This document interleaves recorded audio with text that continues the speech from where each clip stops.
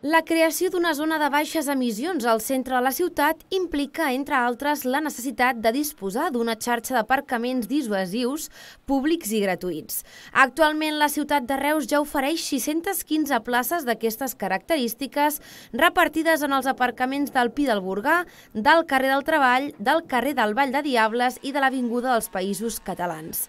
Ara se sumen al total més d'un centenar de places a través d'un nou pàrquing dissuasiu que s'ubicaran uns terrenys municipals a tocar del Santuari de Misericòrdia. Els treballs d'adequació ja estan en marxa i es preveu que l'aparcament pugui entrar en funcionament el pròxim mes de febrer per donar resposta precisament a una part d'una reivindicació del, de l'Associació de Veïns i del veïnat per poder tindre plats d'aparcament eh, segures a, a tocar del barri i després per a aquells visitants que són de fora de la ciutat i que venen al nostre municipi doncs, que també puguin trobar dintre de la, de, de la, o sigui, fora de la zona de baixes emissions aparcament disponibles. Nosaltres estem contents perquè creiem que aportarà a, a tots els comerços de, del barri, portarà més afluència de gent també tindrem més seguretat, al tindre més llum en aquesta zona,